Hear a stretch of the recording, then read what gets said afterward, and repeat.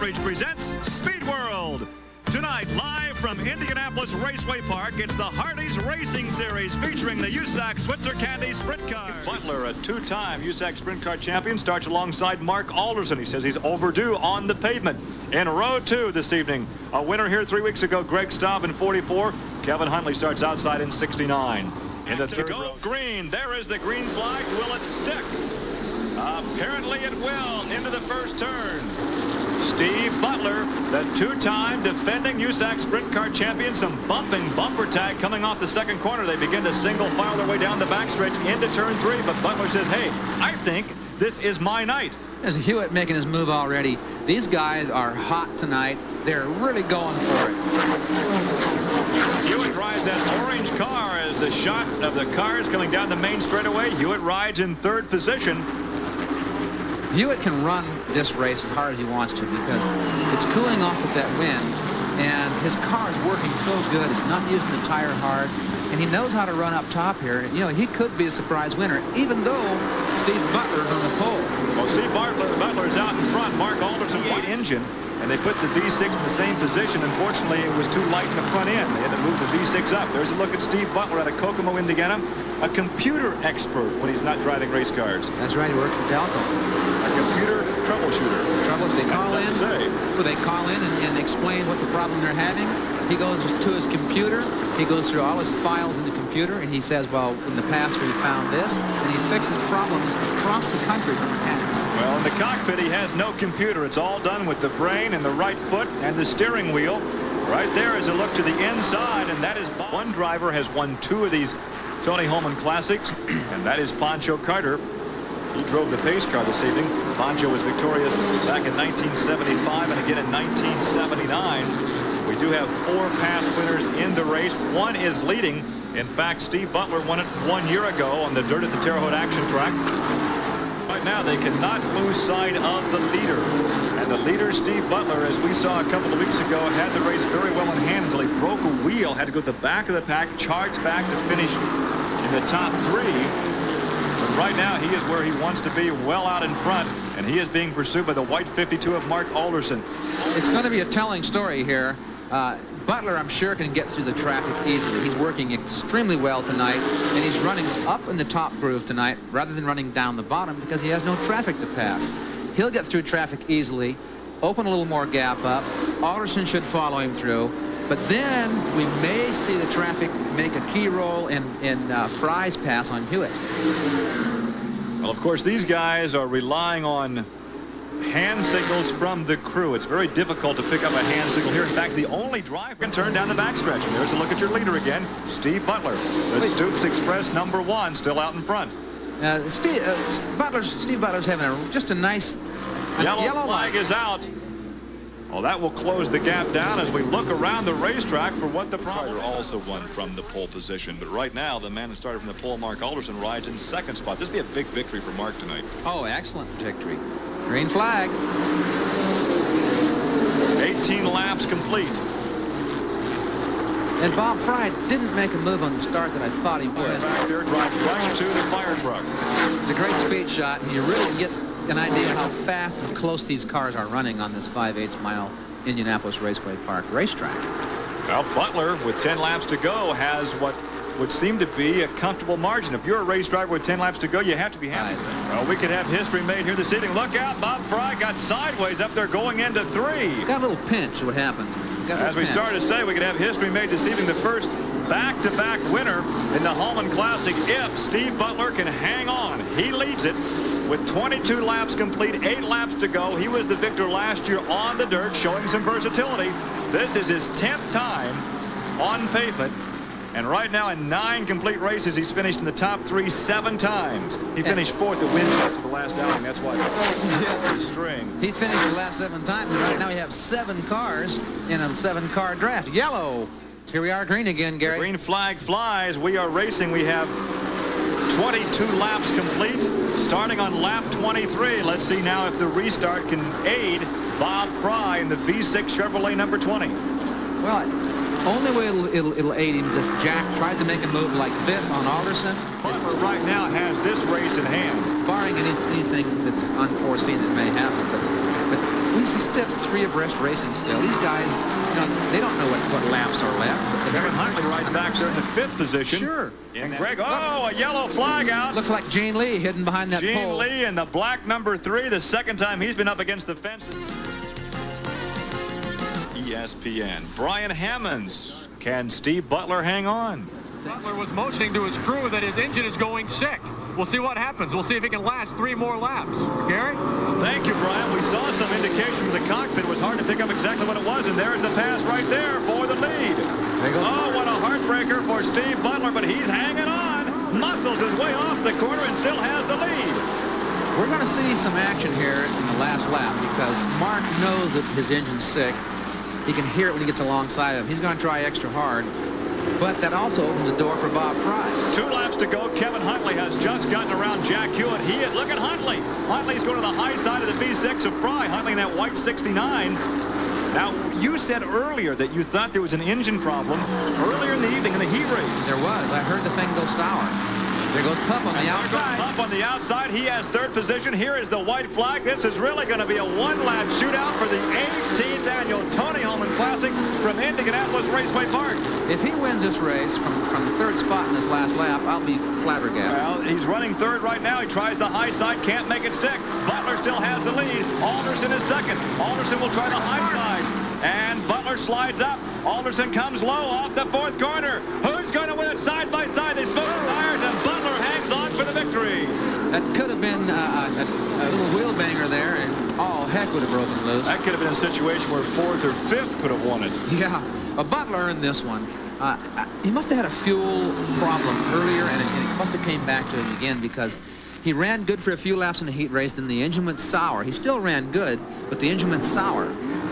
He's well. He's he's having a little excitement there. He's showing off a little. He feels good. First time ever a driver has won back-to-back Hulman Classics, and he's done it once on dirt and once on pavement. The first ever victory on pavement for the lad from Kokomo, Indiana, and this will be a long way, or will go a long way, in helping him take his third straight, third straight third USAC straight. Sprint Car title. Yes. Only two drivers have won two or make that three sprint car titles. Larry Dickson, the late Sheldon Kinser, but no one has ever won it three in a row. Three straight. That, and that's quite a feat to run it three straight. The Stoops Express, number one. It's a bright red car, and you can almost see the smile. One of the nicest things that's going to happen to him is a tradition that's been happening from the from from Don Smith and the mayor of Terre Haute are here tonight. is here. They're going to present him with a beautiful Winchester rifle that they that the winners have been receiving for years. We were watching Kevin Huntley with uh, a marvelous ride. Only his second race on pavement. He finishes third. But your winner right there in victory lane is Steve Butler. Mark Alderson had a, run at it. He finishes second. Kevin Huntley was third. Bob Fry have a very, very happy winner in victory lane. There's a look right there at Steve Butler. He says he was overdue. He won it from the front row. We'll come back and talk to him. Stay with us.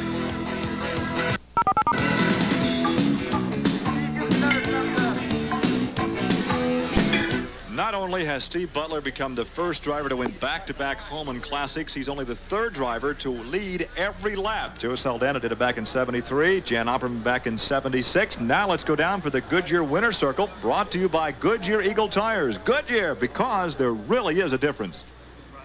Steve Butler, what was wrong with the uh, with the engine the last couple of laps? You were signaling to your crew. I don't know, Brian. We've had a really uh, mysterious uh, miss for the last few races. We've changed motors, changed everything on the race car, and it's still there. It's just the gremlins in the car, I guess. But fortunately, we were able to hang in there. Right, I didn't know if we were going to make it that last two laps or not. So it was a real exciting finish for me, and a little bit too exciting, really. You said earlier tonight your goal was to start up front and stay there rather than fall to the back of the field, and that's exactly what you did. Yeah, you know, the last two races we've been here, Brian, we've had to uh, take the Stoops Freightliner car back to the tail and come back up, and that's really not the way to go. We like it just riding out in the lead and having a good view of everything. So I'd like to, you know, thank my car owner, Jeff and Terry Stoops, and Stoops Freightliner, and especially my mechanic, Phil Poor. He, he works uh, tirelessly on this thing, and nope, none of us could do it without him. So I'd like to thank everybody. What does it mean to you to become only the second man to win the Tony Hulman Classic twice? You and Pancho Carter. it's, a, I'll tell you what, it's just a thrill to win this race on at IRP, Brian, because we've been so close a couple of times, and I've never run a, won a race on pavement before, so the uh, Tony Hulman deal is just icing on the cake as far as I'm concerned. How do you like this pavement? I love it. I'm ready for more. All right, Jeff Stoops, the car owner, is also down here. What were your thoughts? Well, we've had uh, tough three races down here. And we've had to come from behind twice, and tonight, uh, when we had the yellow flag on the 19th lap, the last two races we went to the tail on lap 19, so we, we felt confident if we could get out front, we could stay there. But the motor, like Steve said, the motor problem. So we're just happy. We're happy to be here. We like to thank the Switzer Cherry Candy and Hardee's people and USAC and everybody here at IRP. We had a great night. Steve Butler and Jeff Stoops, couple of happy guys down here in Victory Lane. Gary? Defending sprint car champion, leading the point standings again, going for a third straight USAC sprint car championship. And Steve Chassey, I would like to see this young man get a chance to move up in an IndyCar. I would too. There's a lot of there's a lot of young guys that I think deserve a chance in an Indy car, but the problem is it's just far too expensive unless you have the monetary backing or corporate sponsorship. It's just the days of coming from these cars, which teach you how to drive race cars, going to an Indianapolis car gone. Last five laps, I said it's now or never, and I really went after him. Uh, and uh, then on that last yellow, I noticed his engine did die a bit, and I was able to get under him going into one. And uh, it, it, was a move that uh, uh, might have looked a little risky, but I learned it from Steve, and Steve's great at it. And so uh, he's a great racer, and he stayed right with me. And when it really came down to chips, we just ran there side by side with a couple of real professionals, and I really enjoyed it. Mark Alderson finishes in second place tonight. Gary. Well, of course, the race has been named after the late Tony Hulman, and I don't think anyone has had a more major role in motorsports than he had buying the Indianapolis Motor Speedway back in 1945, totally refurbishing the uh, race plant, opening for the first post-war race in 1946, and what advancement he made in motorsport, what work he has done. This race, of course, was named after him. Prior to that, what an impact the man has made, and since 1972-71, this race has been named for Tony Hulman.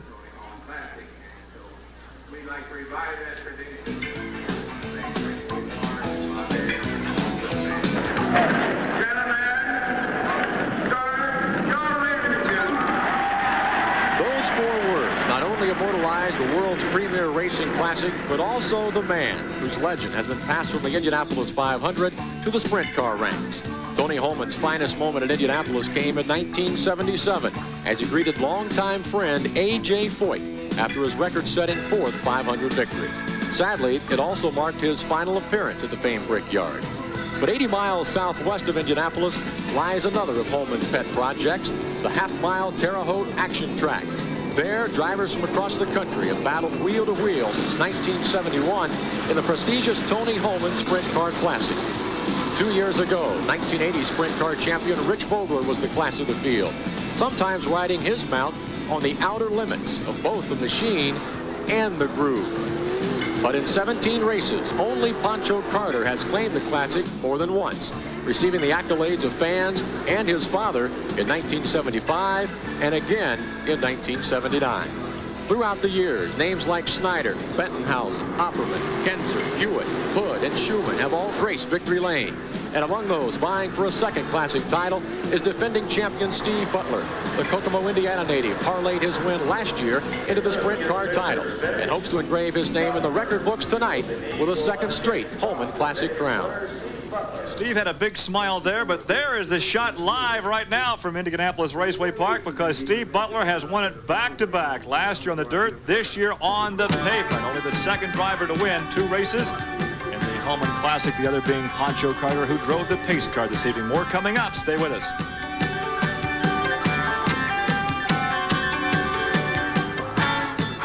We were talking about this particular race here this evening. ESPN and Steve Butler with a fan out there. And the prestige of this race. You finished second in this event back in 1980, a bridesmaid. But how, why is this particular race so important in a driver's career? Always remember these races.